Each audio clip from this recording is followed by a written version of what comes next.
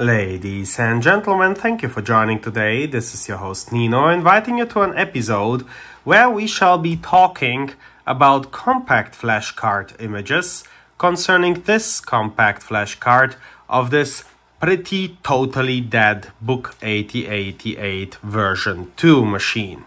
Now, about the mishap that happened here, I shall be talking in more detail in future videos and indeed I'm still waiting for the outcome to know in which way I should describe affairs. But suffice it to say, the machine no longer boots, but did boot initially. So it was not dead on arrival, it died in the meantime. Hmm? That's, that's a little bit of foreboding and not so good news.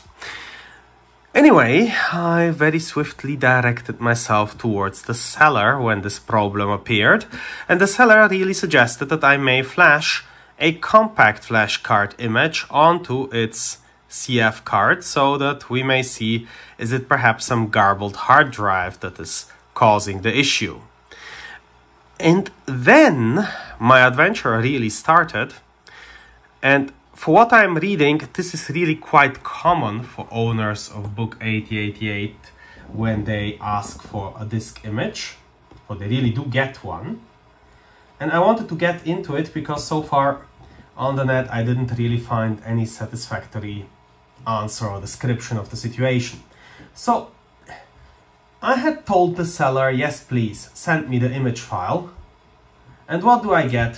I'm getting this RAR file. And this RAR file contains bkdos02 GHO. What on earth ever that is. I first have no clue what that is, but rather swiftly I managed to Google and find out that this is a file extension of something which has been called in the past Norton Ghost. On I go to install Norton Ghost. I'm now having it as some evaluation version for 30 days. And for the full, version, one would have to pay something like 70 $80, something along these lines.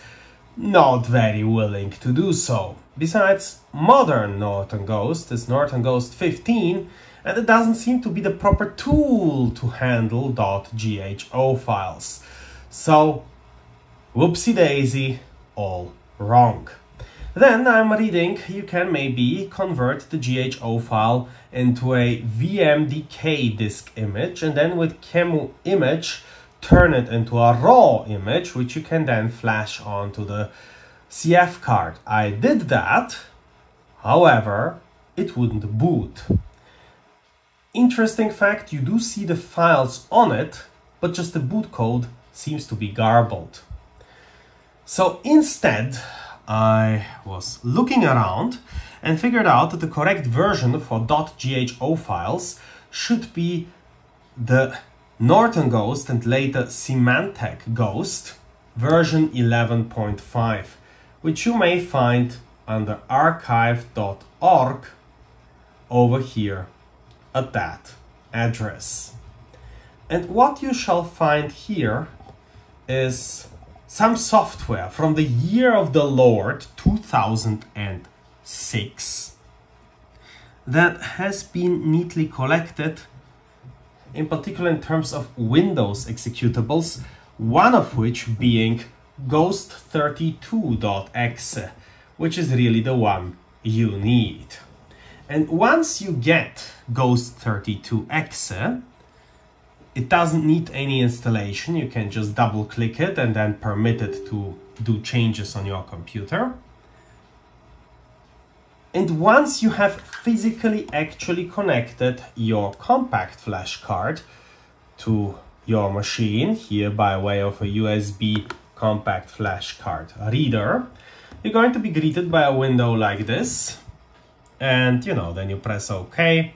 Looks like one of those classical business Java apps from the style. And then you can go to local, and then you can go to disk, and then you can go to from image. And then you see it opens here the same folder. You can select your ghost image, this BKDOS image. And then you're getting an offer where you would like to put it. And you see, I'm not going to put it into my operating system volume. It is certainly also grayed out and I can't. I'm also not going to put it onto NVMe storage, which would be certainly quite deadly if I want to keep the intactness of the bootability of my machine. Instead, I would be putting it on the generic mass storage class with 488 megabyte. In other words, that is my compact flash card. I would click on it and then I would select OK. And then I could now select again OK and have the whole thing flashed, which I don't intend to do right now because it takes a moment. On the other hand, what will happen? Like, oh my god. Yeah, proceed with disk restore. I'm saying yes. And that is now just going to take a moment while it is writing here to my disk. You can see it blinking, so yes, indeed, it is doing that. And here we already get a signaling of successful completion of the operation. So that is how you are flashing a Norton Ghost image onto a compact flash card from Windows 11. Stay away from any image conversions, stay away from modern Norton Ghost, go, go to archive.org, pick the Ghost32.exe and then let it do its magic. For me, the whole story unfortunately had no happy ending.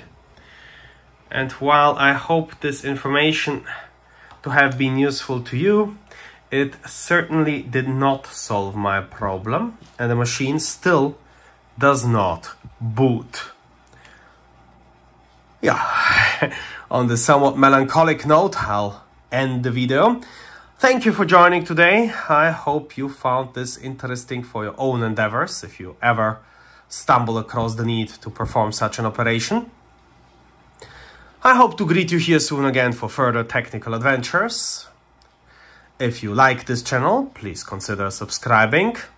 Thank you for joining today. Until we meet, have a great time. And from me, Goodbye.